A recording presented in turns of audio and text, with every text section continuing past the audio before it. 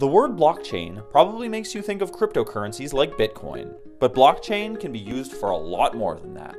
In fact, we just used it in our governance elections. The blockchain that Bitcoin is built on top of is really only built uh, to keep track of account balances, more or less.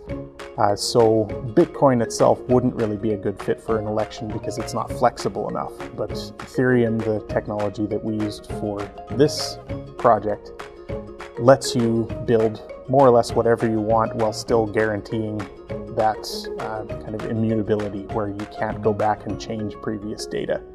We chose to pilot the blockchain technology in our elections this year because it was a relatively simple application that still had a robust enough solution for us to actually put into use and potentially for other credit unions to use. What we were looking for with the new voting system was a simpler and more efficient way for our members to be authenticated.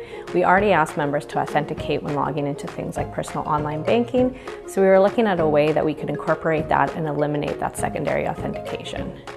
For the election portion, uh, it's giving the members a better way to vote without having to go through the hassle of keeping track of another set of sign in credentials for the voting process.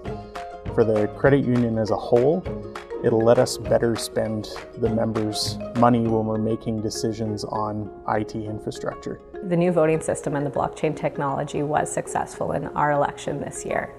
It did enable us to increase voter turnout, and it also set the stage for us to make uh, even further changes to improve the member experience. So the credit union election process has historically been very traditional, and when members' banking behaviors change, and as we evolve in how we do our banking, we also need to evolve how we are engaging our members in our democratic process.